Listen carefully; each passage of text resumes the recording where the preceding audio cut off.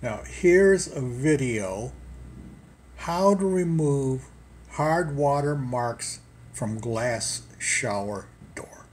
There's a lot of videos about cleaning shower glass doors. And I'll tell you what the best cleaner is for shower glass doors.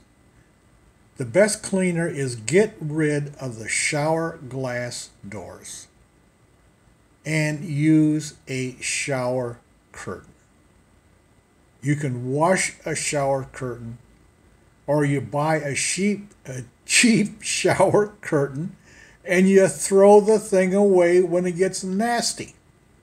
They're not that much money. Or put it in the washing machine. Why do you want glass shower door? What is there to look at while you're taking a shower?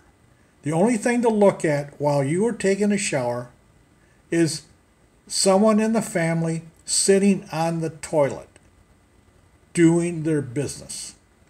Is that what you want to look at? Or how about family comes in there and they're using the toilet and looking at you taking a shower? Is that what you want? There's no purpose for a glass shower door.